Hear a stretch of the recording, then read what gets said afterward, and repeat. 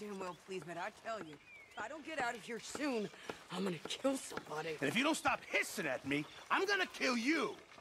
You come near me, sailor, and I'll slice you up. What is wrong with you two? I ain't chopping vegetables for a living. Oh, I'm sorry, madam. Was there insufficient feathers in your pillow? I ain't lazy, Mr. Morgan. I'll work, but not this. Well, ain't cooking work?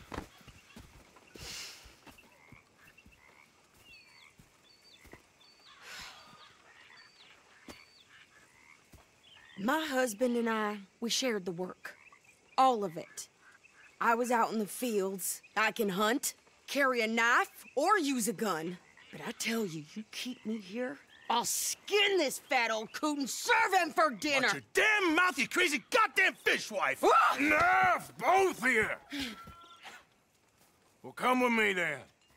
You want to head out there, run with the man, So be it. But we do more than just hunting. We're hunted. And them things hunting us, well, they got guns of their own. I ain't afraid of dying. Good. You need anything, Mr. Pearson? Maybe me and Mrs. Adler gonna take a little ride.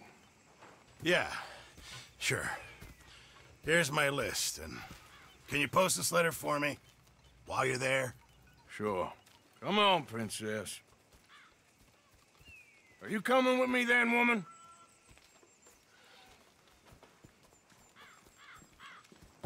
So I've graduated from chopping vegetables to shopping. Shut your goddamn mouth. Yeah.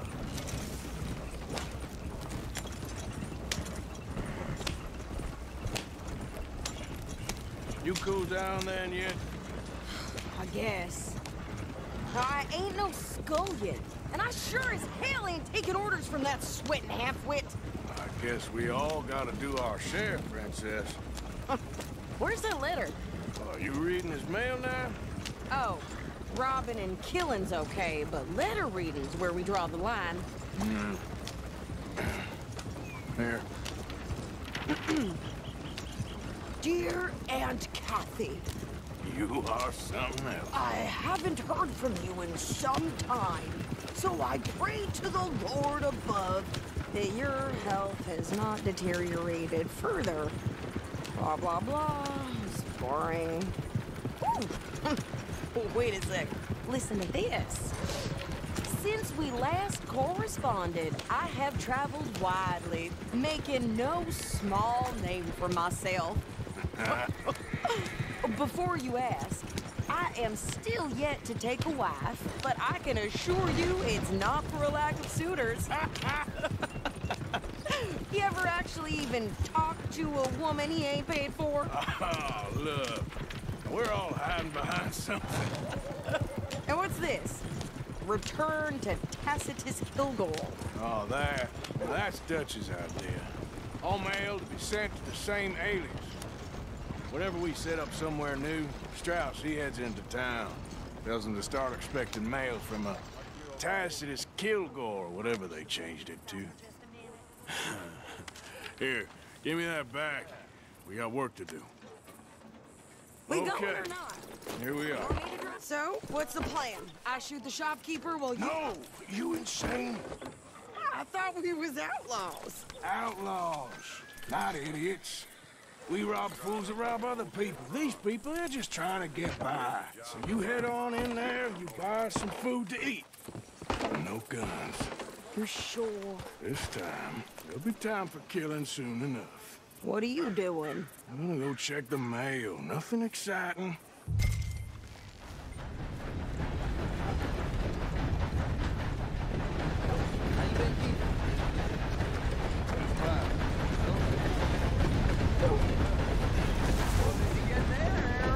Nothing.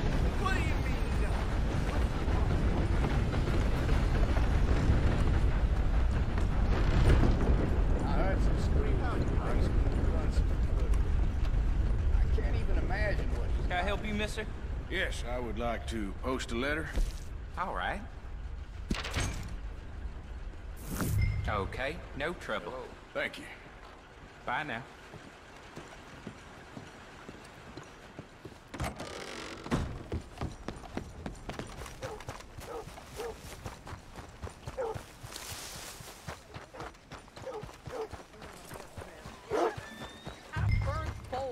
Strength than you. Hell, my sister's newborn had more strength than you, and he came out bright blue. I'm trying. Try harder.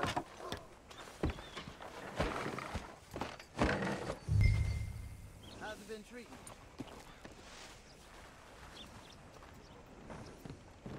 I think this is everything. Thanks. Here, take that for yourself, okay? Thanks. Well, give it back then. Jesus. I didn't ask for his goddamn help. You hear, Mr. Belfield? Why don't you drive? the crew. Okay. Come on, lady, get a move on. I like Sadie, not lady. I know. Yeah, So, you get everything? I think so. And some new clothes, I see? Don't start. I can wear what I damn well want. Like I told you, my husband and I shared all the work. I wasn't some little wife with a flower in her hair baking cherry pies all day. Yeah, I don't doubt that. You sure look the part now. Won't be long before you're smoking cigars and playing the harmonica. I'll have you know, I used to love playing the harmonica before. Well, my house and everything I own got burned to the ground. I know. I'm real sorry about what you, uh, you know. Maybe I'll keep my eye out for another one. I don't want no pity. Just treat me equal and know nobody's taking nothing from me ever again. Mm-hmm. Just don't kill the camp cook. Please. Hey there! Hey, What, uh... What you folks up to? just heading home. You're in Lemoyne Raider country. Keep it cool. You need to pay a toll to pass through here. No, I don't think so. You don't think so? How about you pull over right now? Pull over. That's what I said. Hey, how's about this? Go, go, go! Shit! Let's Back here! Wait till I get my hands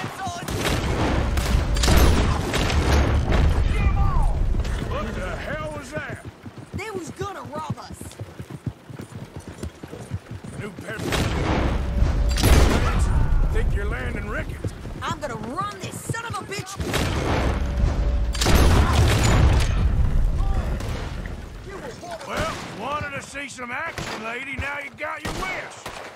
You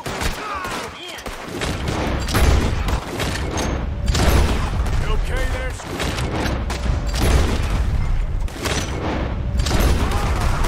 Of course. You think I can't handle these fools? There, see? Not many still standing now. Told you I could shoot a gun, didn't I?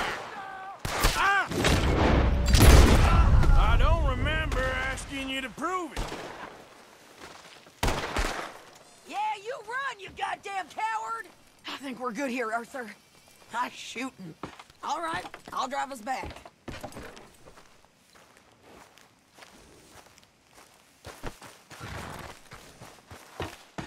No, pass those reins here.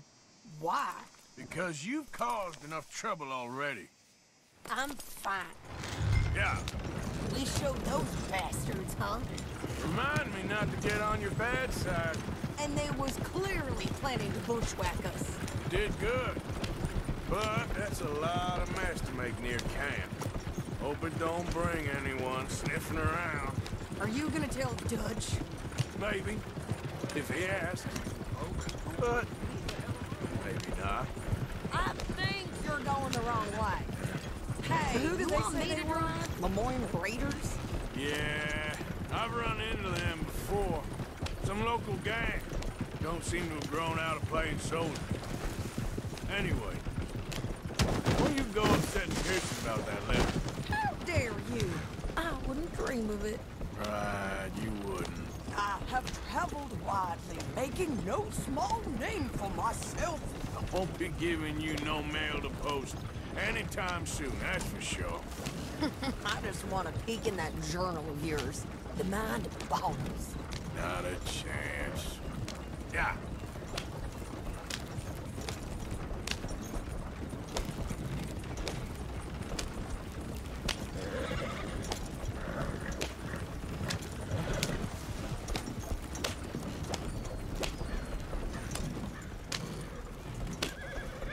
You didn't get yourself killed then, Miss Adler. Not quite. well, I'd like to say I missed your refined conversations, but I'd be lying. Ah, I enjoyed myself out there. Yes, we, uh, Mrs. Adler did okay. At shopping? Yes, at shopping. Thank you, Mr. Morgan. Don't mention it. I would ride with you again, Mrs. Adler, if you will ride with me. Maybe.